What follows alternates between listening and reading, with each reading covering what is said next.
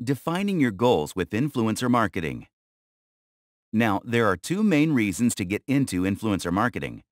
One is to improve brand awareness, and two is to get these aware individuals to buy your products or services. When you start building a strategy, you need to be more specific. You want to know how to find your target audience, which will, in turn, help you find the influencer who engages this demographic. Now, influencers have a very specific reach that is very useful to brands. They can be your voice in the niche that they conquer. So, you want to use their skills to get your message out. That's your medium. Here's how you narrow the above goals with the medium at hand. 1. Define specific KPIs. Key Performance Indicators, or KPIs, are a big part of defining the goals of influencer marketing. There are two aspects to deal with here.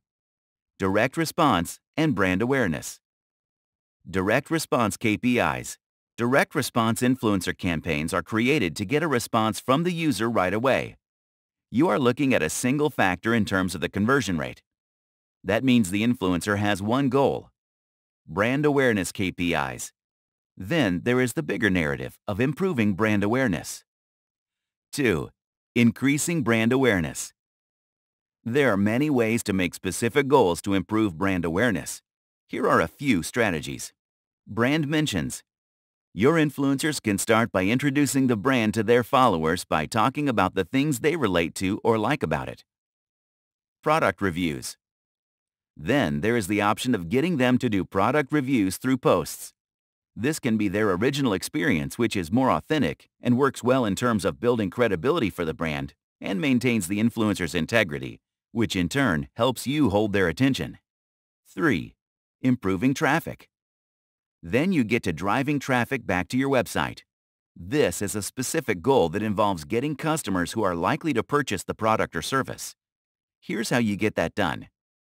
Sponsored blog posts. Engagement is a key factor in increasing conversion rate. This means you need to connect with influencers who can write about your brand without losing the audience. Guest posts. I have also covered this aspect earlier in this book. Guest posts are a great way to write favorable content on popular blogs and add links that will bring their readers back to your website. Sponsored social media content. Research has shown that in the U.S. alone, 77% of the population uses social media, and creating high-quality content on these platforms is the perfect ingredient to the recipe of bringing the audience back to your website. 4. Sales and lead generation. Once you have the audience on your website, you need to generate ways of converting them into paying customers. Here are some strategies that help you make that leap. Collective shoutouts.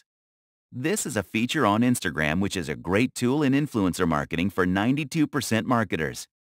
Find yourself an Instagram influencer and get them to promote your product or service. This helps create more leads and drive sales sooner than you could on other social media platforms. Affiliate marketing and discount codes. This is another popular way of campaigning using influencers. It's a win-win for customers and the influencer. Affiliate marketing gives the influencer a chance to make some money, which is an incentive for them. 5. Driving engagement. This ties back to the point of brand awareness. You can use that metric to increase engagement, which, once again, benefits both the brand and the influencer. Increasing your follower count by piggybacking on your influencer's follower size is a smart way to go about it. Takeovers. As mentioned earlier, this is a good way to strengthen your collaboration with the influencer and also engage with their audience. It has the potential to meet more than one goal at a time. 6. Reputation. A brand's reputation is often considered to be an intangible asset, but there is a way to strengthen it with potential customers. It is done by building partnerships that reflect the core values of the company. Host an event. The best way is to host an event and send invites to influencers who have a good track record with commercial campaigns. Send gifts. This is a good old sales method where you try to buy their affection. But if you are thoughtful and the gift is something they can use to create content, you might just get the bump you're looking for. It is one of the easiest ways to get in their good books. For more free educational content, visit Learn for free. Biz. Content produced and distributed by All Super Info.